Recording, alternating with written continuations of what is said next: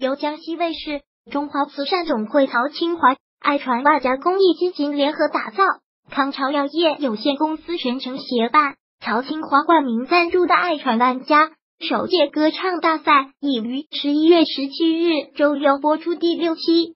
在本期节目中，曹清华爱传万家战火再度升级，八十五岁高龄的网红爷爷王自忠打扮潮流。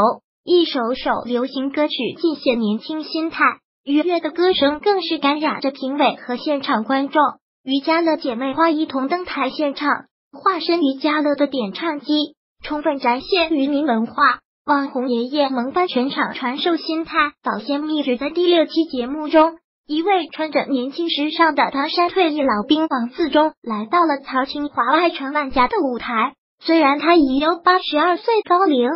但从他的衣着打扮和声音语速上都显得非常年轻，不由引来评委的惊叹。王自忠自称是网红，并且在网络上建造了一个小歌屋，为网友们演唱流行歌曲。他会唱的流行歌曲跨越了四十多年，堪称中华曲库。在舞台上，王自忠演唱了一首《三百六十五个祝福》，歌声轻松愉快，干净澄澈。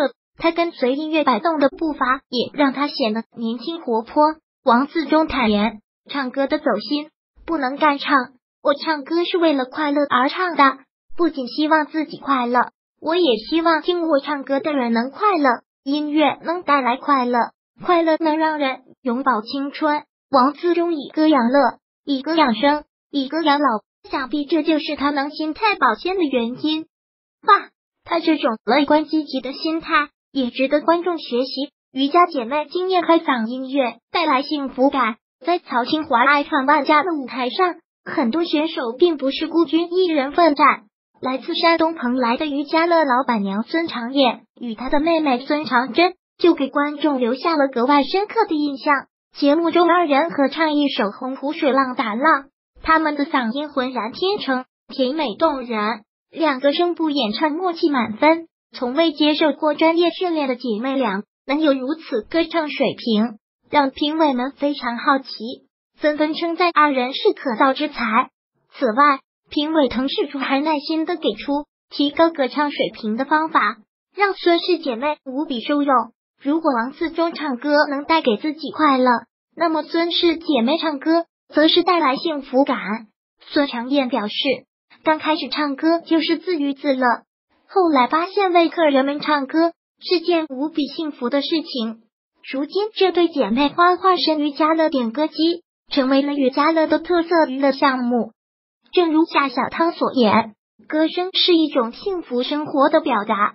这些中老年选手们用积极的生活态度和对梦想的热情，时刻感染着观众，用歌声向观众传递着快乐和幸福。在第六期节目最后。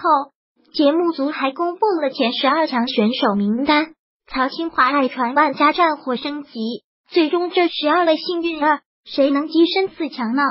本周六晚二十二点三十分为您揭晓答案，大赛更加精彩，引人期待。